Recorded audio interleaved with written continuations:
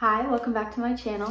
My name is Allie. If you're not aware, I have a little series on my channel where I review, well, I guess I react to new releases on the day and day after that they are released. I will link my playlist on either side. I don't know which one it is. I wanted to talk to you guys about the releases I will be reviewing slash reacting to in the month of February. I cannot believe it's already February. So I guess this is sort of my TBR. It's like half my TBR. First up, on February 1st, the Woven Kingdom, the Woven, I've said that word too many times now that I don't know how to pronounce it. Do you ever have those words? The Woven Kingdom. I think it's Woven. Woven? The Woven Kingdom by Tahereh Mafi. This is a YA fantasy romance. It is going to be a trilogy and it's Persian mythology. I feel like I've never read Persian mythology as far as I'm aware. YA fantasy, I feel like it's always fun to read even if it's not always like a five star. So I'm excited to read this. I think it's like 512 pages, so it's gonna be a, a long one and I hope that it is very engaging. Other than like that it's about Persian mythology and that it's a trilogy, I don't know too many other details uh, at all. So we're gonna be surprised with this one. Second up, being released on February 8th is Night Shift by Kiare Ladner. This is Kiare Ladner's debut novel. This is a story of female friendship and obsession, which is honestly like that's exactly what I'm after. This is about a woman named Meggie, and uh, oh, I think she works in London, and she becomes friends with her coworker named Sabine, and she becomes like totally fascinated and obsessed with her. And she ends up working the night shift with her and whatever job that they're working in. And this is supposed to be just like, it's described as a thriller. And I think it's just Meggie like I don't know. There were a few blurbs in there that I'm really excited about. Um, I will obviously link all of the Goodreads for these books so you can read the synopses yourself. But it kind of gave me vibes of Last Night in Soho without like the dead people. Next being released on February 15th is One Night on the Island by Josie Silver. She uh, released that one book uh, one day in December last year. I never read it. I can't remember why, um, so we'll see. If you guys have read that book and you like this author, let me know because I'm a little nervous based on the description I'm about to tell you. This is a romance novel. It's about a woman named Cleo who turns 30. She takes a sabbatical to Ireland. It's a self-coupling retreat that she's taking and she rents like a cabin, but there happens to be a man named Mac who gets assigned the same cabin. So it's like forced proximity, which instantly irks me because the chances of that happening is just so slim that it takes me out of the story. Um, and I think it's going to be an enemies to lovers situation.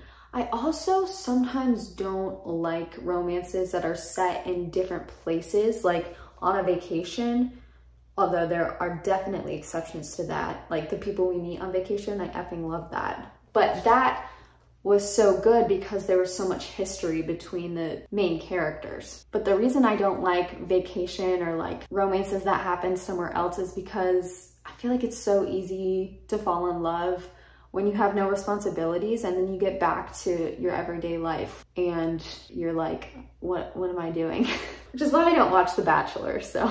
But yeah, I'll be interested to reading this because I think this is the only like release day romance, official romance book that I will be reading. So I needed one. And then the final week of February, on February 22nd, there are three releases that I have purchased slash pre-ordered that I'm really excited about. The first one I'm super excited about is The Girl Who Fell Beneath the Sea by Axie O. This is a retelling of a Korean folk tale called The Tale of Shim Chung. I really want to read that folk tale depending on its length. Usually folk tales are pretty short.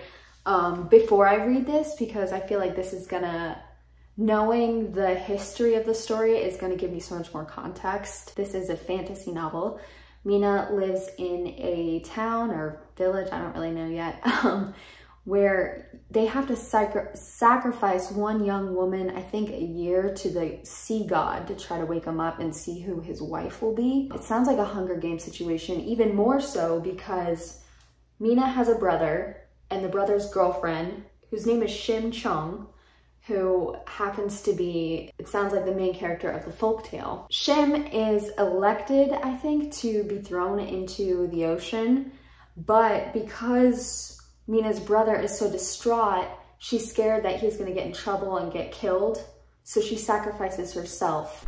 I volunteer as tribute. I don't really understand where the story is gonna go from there. I think she meets other mythical creatures um, that she either has to conquer or I don't really know, but we're gonna find out. The cover is also so beautiful.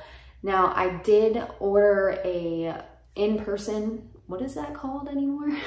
a physical book of this. Um, because I live in Hawaii, it's an island obviously, releases don't get to us on the day of, it's usually a few days after. So yeah, I won't be able to read this the very first day it comes out, probably a couple days after. But yeah, very excited for this one. The second book that I ordered for the February 22nd release day is Manhunt by Gretchen Felker Martin. This one sounds crazy. This is like a sci-fi post-apocalyptic horror novel.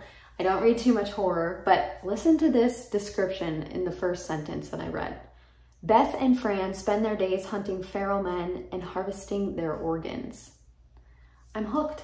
I'm hooked. There's also a third character named Robbie, and this, like I said, post-apocalyptic, something about organ harvesting, and there's evil men, which just sounds like the real world.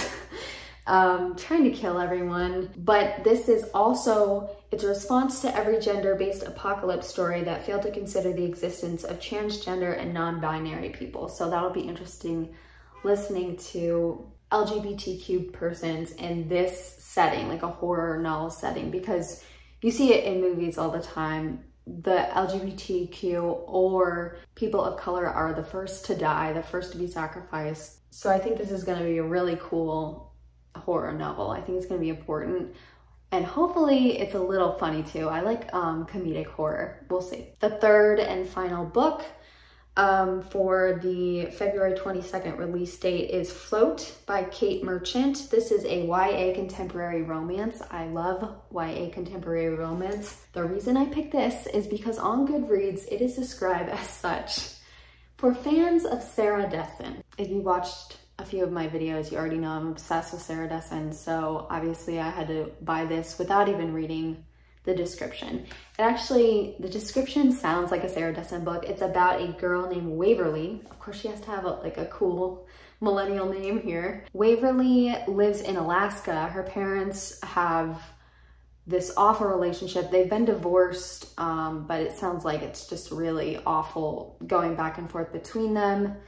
And so for one summer, Sarah Dessen loves the summer too, guys. Waverly is going to Florida with her aunt to stay with her aunt. And that sounds nice and good. I'm from Florida. I lived there for 26, 27 years. But Waverly is so used to Alaska. She loves Alaska. Um, I don't think she knows how to swim, so this is gonna be a little bit of a challenge at first. But the synopsis goes on to tell us that she she makes friends for like the first time in her life and I think she meets a guy and then she, she has probably a great summer, which I'm excited to read about. And then she is gonna have to come to terms with the fact that she has to leave. So I think this is just gonna be a great coming of age story. I think it's gonna be heartwarming and cute and I'm so excited to read it. All right, guys, that is it for my release, I still don't know what to call it. It's a mouthful. It's like release day reading vlogs. If you're interested in any of these, um, be sure to subscribe to my channel and um, look out for those videos that will be coming out. All right, see you later.